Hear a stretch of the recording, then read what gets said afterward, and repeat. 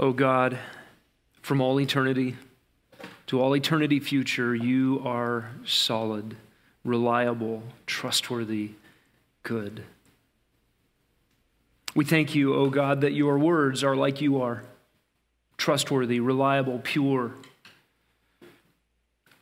Lord, we are mere humans and tainted at that. Our words are not like yours. We dare not even trust ourselves. We pray that our words would conform to yours, that we would think your thoughts after you, that we would be like you in conduct and in speech. And we pray as we look to your word this night that it would have the effect that you promised. It would make wise the simple, and that it would teach us, that we would see in your law wonderful things that the result would be our greater conformity to you. We thank you for the anchor and the bedrock that are your truths. We lean on them. We need them. Even this night, help us, O Lord. In Jesus' name, amen. You may be seated. I'd love for you to turn in your Bibles to Psalm 12, the next in the songbook of Israel for us to study together.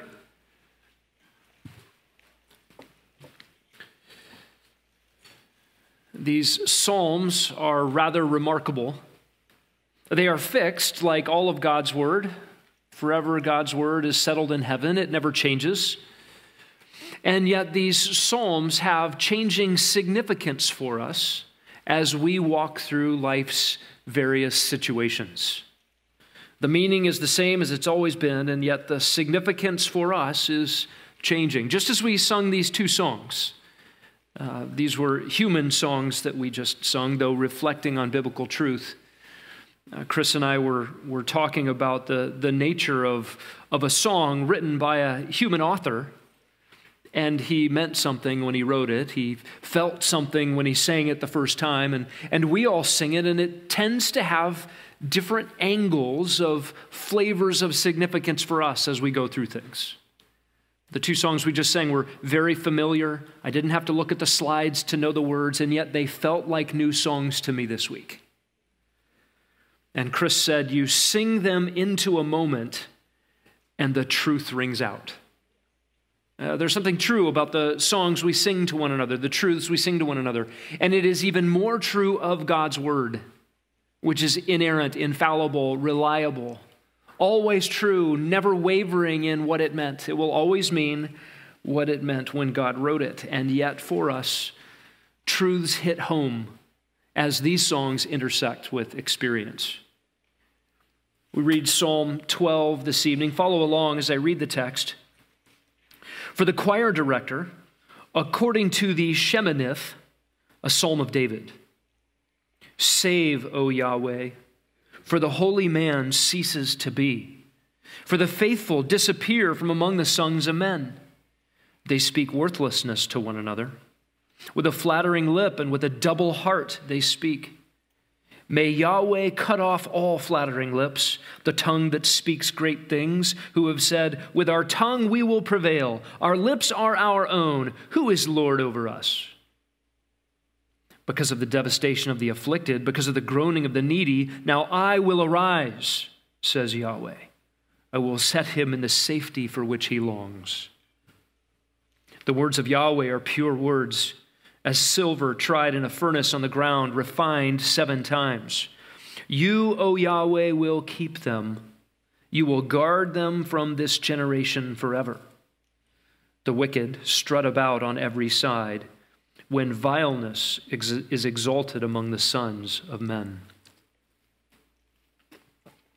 The ascription at the top of the psalm is part of the text, and it reads For the choir director, according to the Sheminith, a psalm of David. Again, for the choir director just means God ordained that we would sing these things. These songs made the book, and these songs are sung by the people of God as they face different situations than the songwriter originally faced when he wrote it, and this was God's design. We would sing truth to one another, even truth that reflects the experience of lament and difficulty, prayer and request, and theological truth. This is for the choir director to direct God's people to sing together. And it is to be sung on the eighth. The, the word Sheminith here either refers to maybe an eight stringed instrument or some sort of uh, tune related to eight stanzas or something having to do with eight. Maybe a tune sung on the octave uh, involving eight notes. Uh, we're not quite sure. And this is a song of David. We're not told the background, the specific historical background, uh, though we do have the narrative of David's life, and, and we can begin to sort of guess at superimposing the sentiments of this song onto some of the situations in his life. We can understand that David wrote songs like this from his own experience. The experience that David feels here is the experience of a culture of corruption. Corruption expressed particularly in speech. He was living in a time where the treachery of deception surrounded him. So we have in this song six observations of a man troubled by corruption. Six observations of a man troubled by corruption. I've titled this song simply Help. It comes from the first word in the English text, save or deliver, O Yahweh. And the word is to expand the help for me. It is a, a request for help. To, to save or to deliver reflects this, first of all, distressing circumstance that David is in. The first observation of a man troubled by the corruption around him is just that his circumstances are distressing. And so he cries out for help. Save, O Yahweh, he says, deliver. By the way, that request, help, is always a timely prayer. It is the fundamental language of prayer. It is the recognition that I'm a creature, God is creator, and I need Him every hour. To cry out for help when things are going swimmingly is appropriate, and to cry out for help in times of adversity is appropriate. And the psalmist does that here. And he does so in the midst of a prevailing culture of lies, untruths, deceptions, and unreliable characters. We'll see that as this psalm unfolds. Notice what he says in verse 1 The holy man ceases to be, the faithful disappear from among the sons of men, and they, that is the, the remaining culture, speak worthlessness, each man to his friend with a flattering lip or with smooth speech and to a heart and to a heart, that is, with a double heart, they speak. This is a culture of words used poorly, words used as weapons. Do you ever feel alone at work? Perhaps like you're the only one abiding by the rules. You're the, you're the only one doing what's supposed to be done. You're, you're the only one with integrity, and everybody else is cutting corners. You, you might ask, how can I succeed if I'm the only one playing by the rules? Maybe you're a student at school and you feel alone similarly. Everybody else is looking off of somebody else's paper term papers are written by ChatGPT and, and you're slaving away at home sweating over the next right word to put down on paper. How can you get along if you can't compete the way others do? I have known some professional athletes trying to play by the rules who wondered is there anybody in baseball not juicing? There was an era where if you were a professional cyclist on tour you knew the real deal the competition at the highest end of competition was about who could cut the corners and get away with it. Everybody was doing it.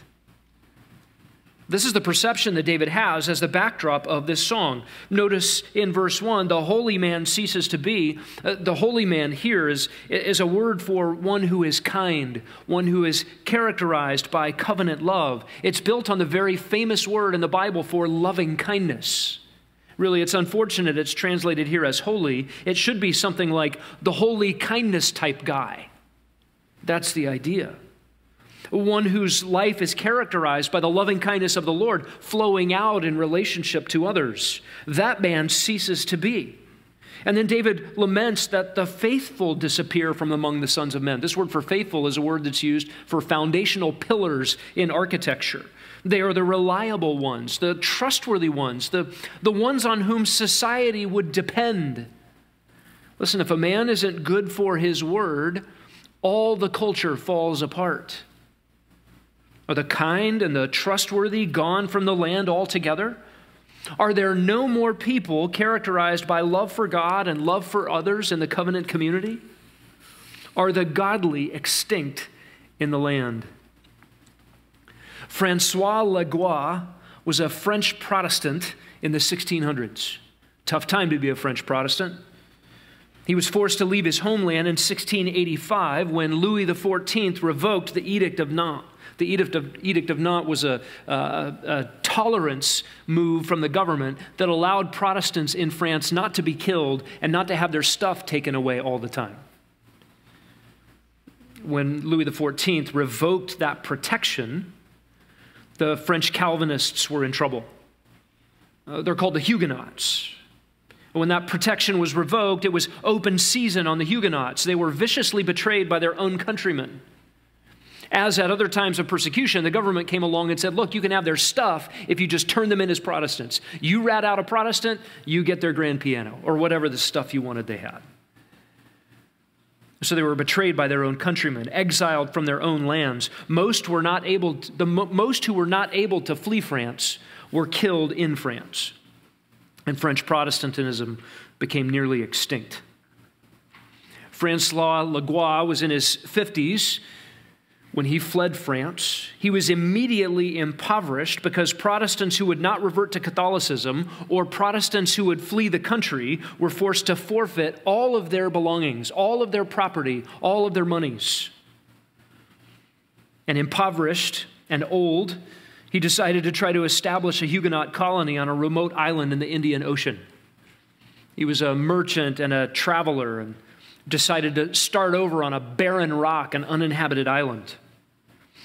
He and his Protestant friends built huts on this uninhabited island in the Indian Ocean. They, they found an island that had plenty of food, plenty of water, but it was isolated. They, they could have lived there just fine on their own. But think about what it would be like to have half a dozen French Huguenots, Protestants, who loved the gospel with no one to take the gospel to.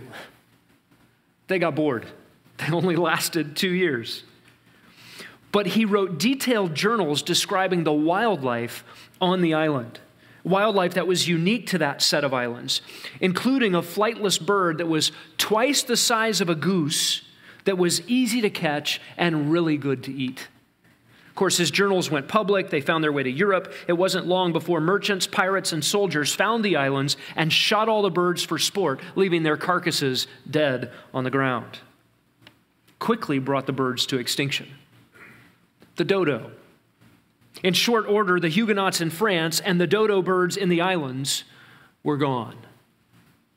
Now, Scott Demarest, who is sitting here this evening, is of Huguenot descent. So we can confidently assert that the Huguenots are not extinct in this world. Thank you, Scott.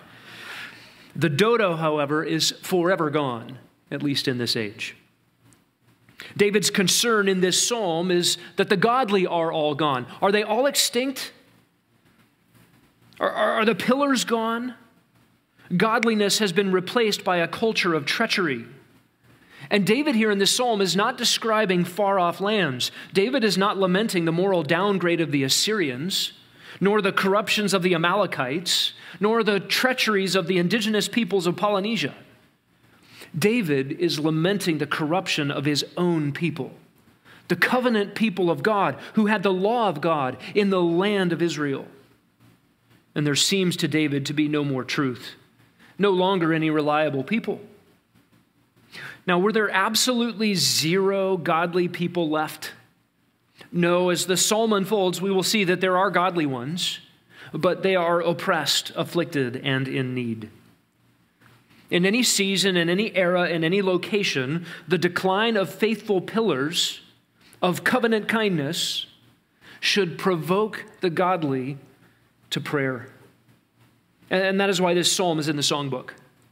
So that generations past David, when they feel these very same things, godly men just went home to be with the Lord. Godly women have gone to their eternal home. Some leaders have fallen. We need to pray. We need to pray that God would raise up more faithful ones. And notice in verse 2 where their corruption is felt so poignantly by David in their speech. He sings, They speak worthlessness to one another. With flattering lip and a double heart, they speak. Speech is a remarkable gift. In the opening pages of our Bible in Genesis chapter 2, you have conversations between the maker and the made, conversations between God the creator and those humans he made in his own image. God gave directives, God provided to Adam a helper. Adam sings the first love song. It was in the cool of the day that God walked through the garden with Adam and Eve. And all of those conversations were pure and sinless and right and true. That was before the fall. Of course, the fall of man affects speech. Speech is a, a wonderful gift designed by God for the glory of God in doxological praise and the building up of humanity by truth. Listen to the way speech is supposed to work in Ephesians chapter 4. Ephesians 4:15 says we are to speak the truth in love, we are to grow up in all aspects into him who is the head, that is Christ, from whom from whom the whole body being joined and held together by every joint of supply, according to the proper working of each individual part, causes the growth of the body for the building up of itself in love. Speech has been redeemed and designed by God and the church with believers to build up, to edify, to be constructive. Listen to the effects of speech gone wrong in James James 3, verse 5, describes the tongue as a small part of the body, boasting of great things. He's picking up on the language of Psalm 12.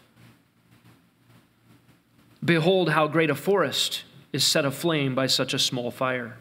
And the tongue is a fire, the very world of unrighteousness. The tongue is set among our members as that which defiles the entire body, sets on fire the course of our existence, and is itself set on fire by hell. Every kind of beast and bird, reptiles and creatures of the sea is tamed and has been tamed by mankind, but no one can tame the tongue. It is a restless evil and full of deadly poison. With it we bless our Lord and Father, and with it we curse men who have been made in the likeness of God. From the same mouth, blessing and cursing, my brothers, these things ought not be. And all of us know painfully how easy it is for that corruption to emerge from our own lips, from our own tongues, the tearing down of others, designed by God to build up, designed by God to bless Him and our fellow man. David laments this curse on the lips. They speak worthlessness to one another, emptiness.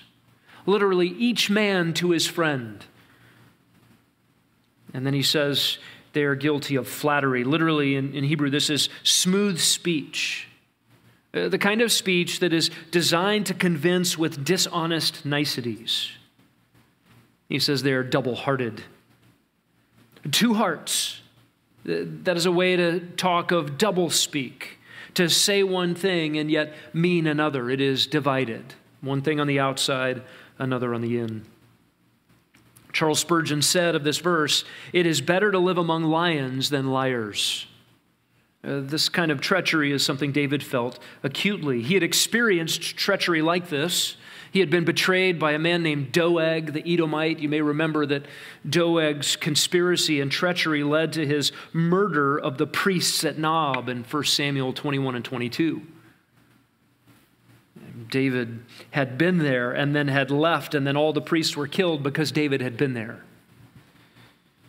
We don't know the specific backdrop of Psalm 12, but we do know that David could speak from experience. He had been betrayed by the treachery of evil speech and evil conduct.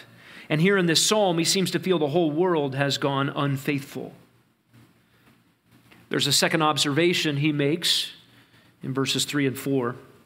It is the observation of a certain outcome for the wicked. Verse 3 begins, May Yahweh in the Legacy Standard English translation. I believe it should be translated Yahweh will cause to be cut off all flattering lips. Yahweh will cut off the flattery and the doublespeak, the smooth talk and the boastful tongues. I believe this is a, a promise. This is an expectation of, of a certain outcome that Yahweh will bring about. And notice in this verse that flattery and boasting are nearly equated. And I, hope you can see why. Boasting is a kind of flattery of self. And flattery is the boasting of others for the benefit of self. Both of those are self focused. And they don't deal in true words, but in the kind of sycophancy, the, uh, the kind of buttering up words that feel smooth but have an agenda. As King David would have experienced that sycophancy of people trying to curry favor with him, to flatter him to get what they wanted.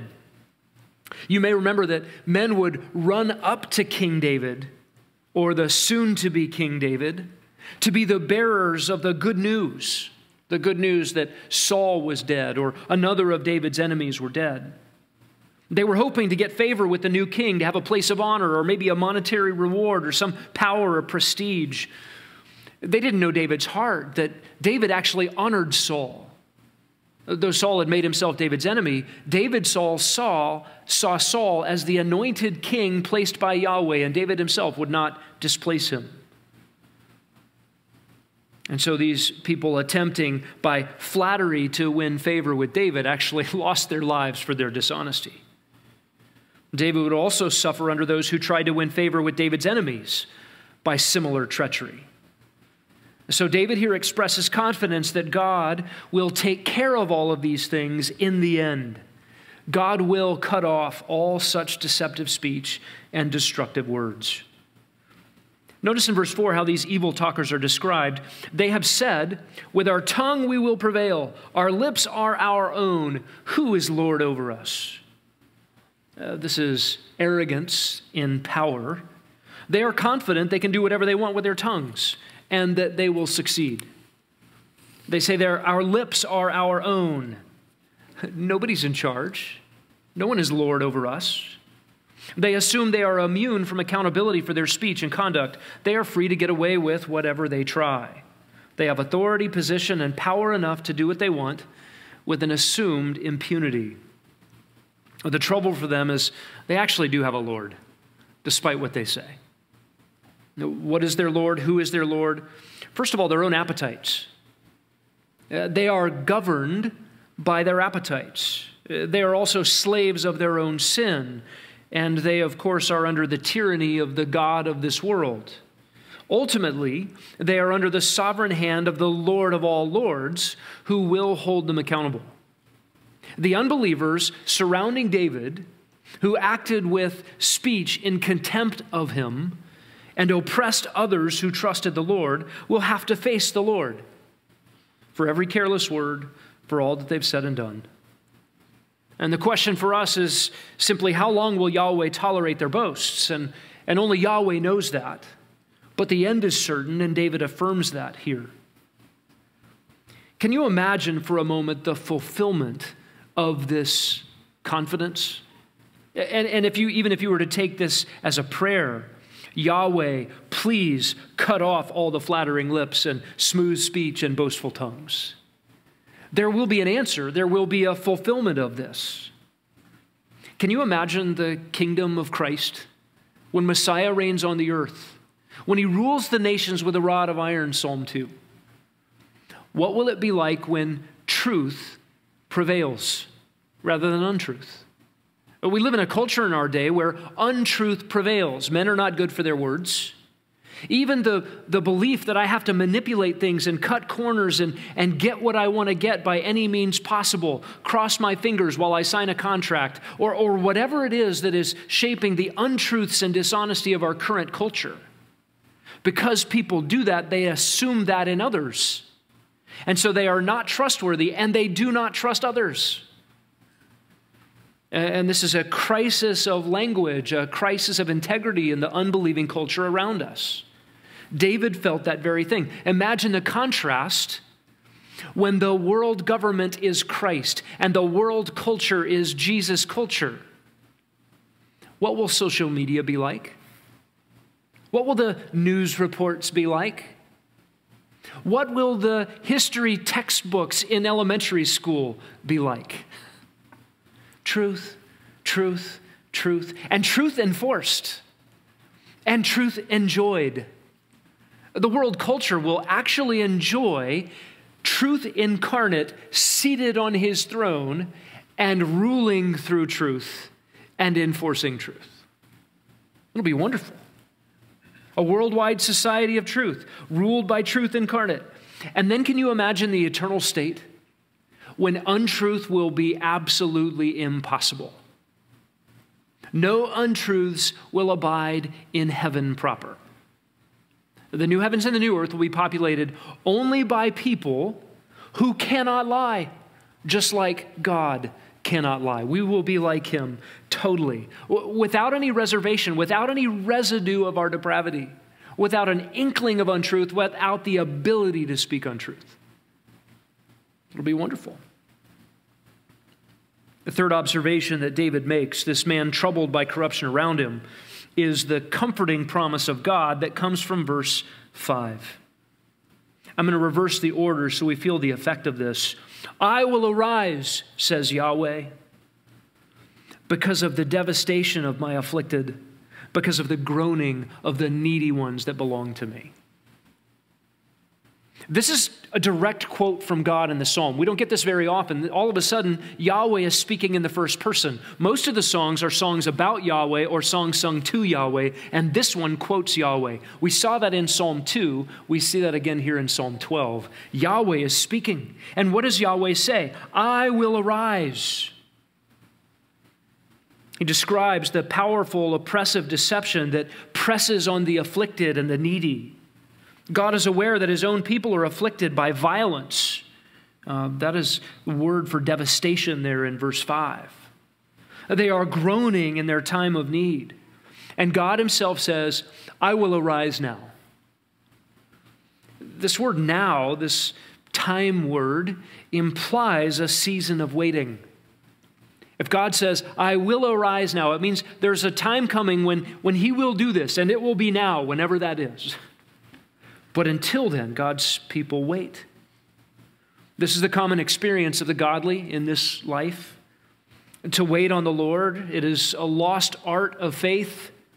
Waiting on God is the discipline of faith multiplied by time. I will trust God now, and I must trust Him in the next moment, and I must trust Him in the next moment and the next. Until my present circumstance is God's now, I will wait. And while I'm waiting, my circumstances remain unchanged. God will act, and I will wait for him to say, Now I will arise. And when God simply speaks these words, our hearts are comforted. For God to speak in the first person in this psalm is such a comfort to us. We know that our suffering is known by Him. He loves and He cares for His people. He has a good plan that He will execute in perfect time.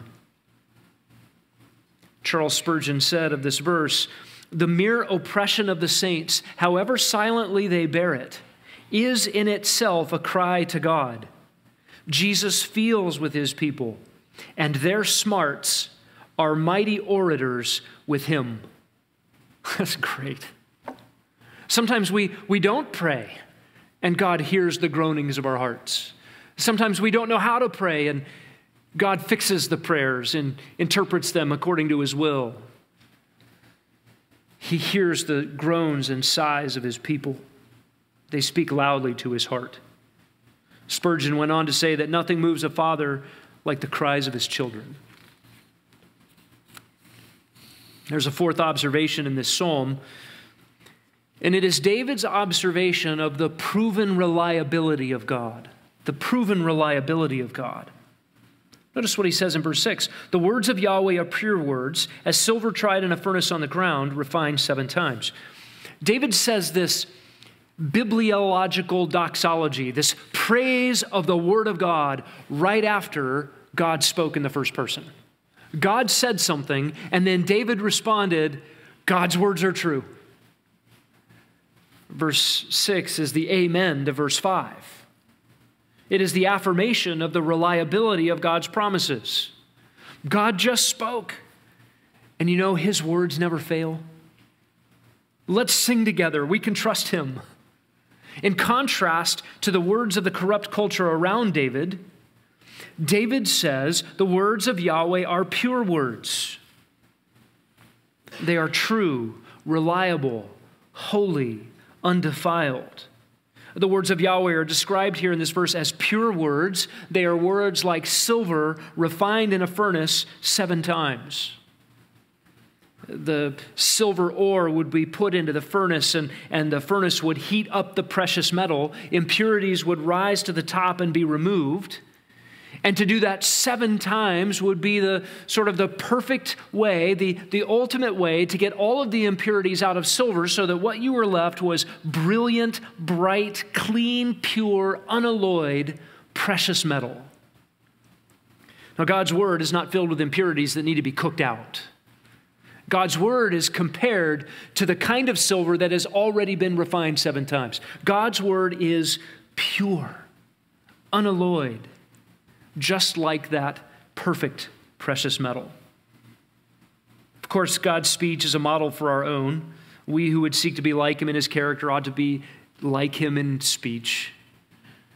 You know in your own heart the difficulty of this. We feel our weakness. There's another weakness that we need to consider related to the purity of God's words, we might readily say amen, like verse 6 says in response to verse 5.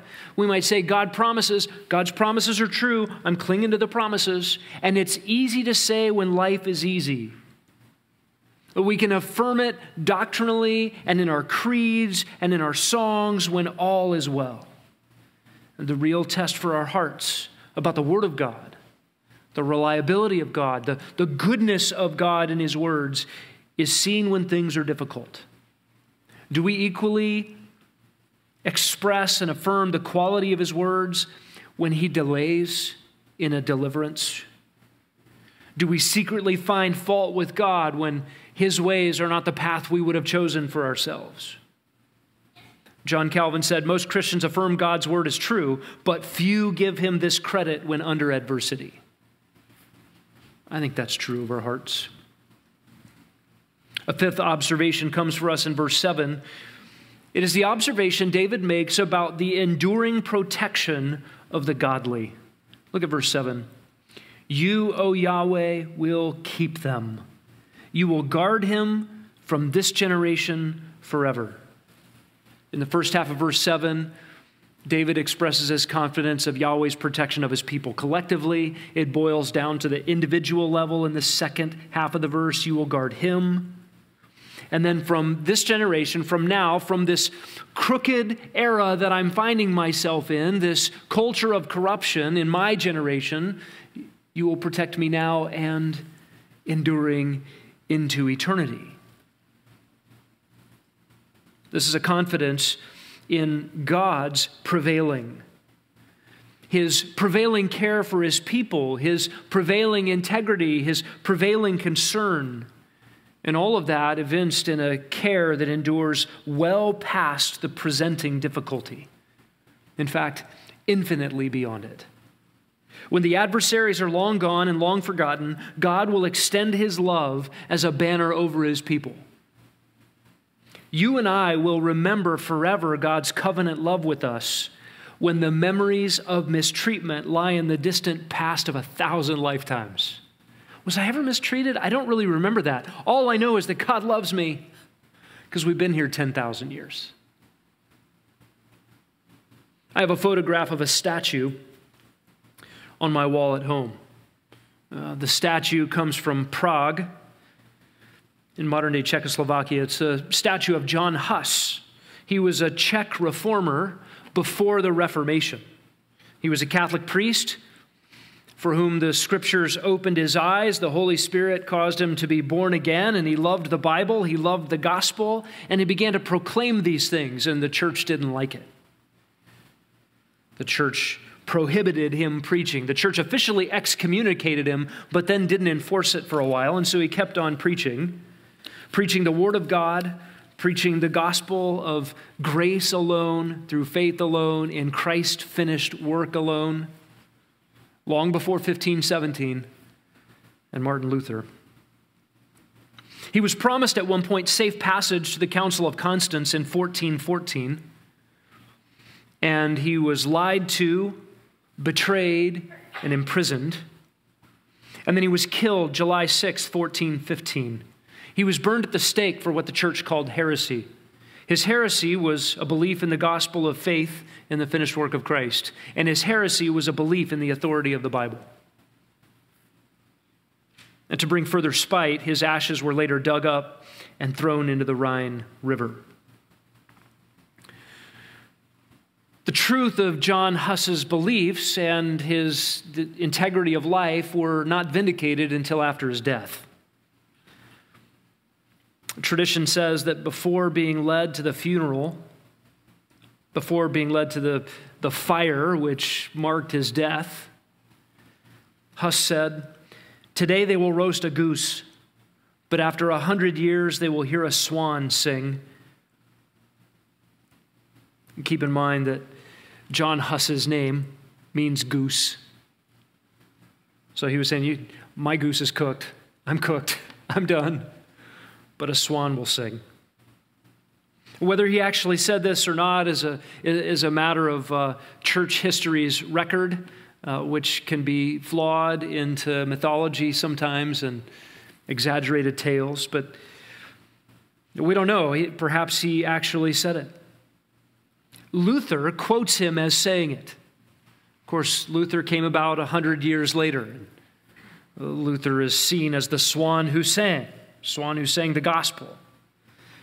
He used Huss's writings in his own writings and after reading John Huss's work, Martin Luther himself was perplexed as to why such a great man as John Huss was killed.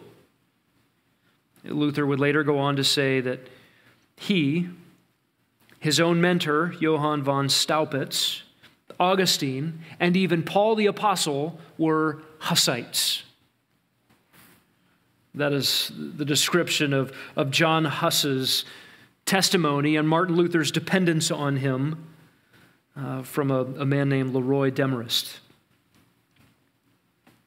It's remarkable that John Huss did not get vindicated in his own lifetime. And even after his martyrdom, he was so hated that his ashes were burned up and or dug up and thrown into the river. The reality is, John Huss was protected by the Lord and endures to this day under the banner of God's love long after his adversaries have been forgotten, long after his enemies have gone to their own graves. That is the truth for all who are in Christ. Uh, no matter the culture of the world of unbelief around, no matter the disdain for truth in our present day. There's a sixth observation, a final observation in the psalm, comes at verse 8, and it is the temporary persistence of the wicked. This is a bit of a surprise. We, we learned about a problem in the beginning of the psalm, and we've come to the theological solution, the turn, as we've been calling it, through the middle of the psalm. And then we end up back where we started in verse 8. The wicked strut about on every side when vileness is exalted among the sons of men. What's going on here? The psalm ends with the wicked still around. They walk about, guilty, unopposed, proud, contemptuous. They are free now to oppose and oppress God's people. And they continue to do so in an era when vileness, what the psalmist calls worthless things, are exalted among the sons of men. The culture hasn't changed. This psalm didn't fix the presenting problem. This is such an interesting song. While the values of the world are not the values of our Lord, David has appropriated the values of the Lord into his own heart and he's able to sing and exult. And still the psalm ends with the wicked strutting about.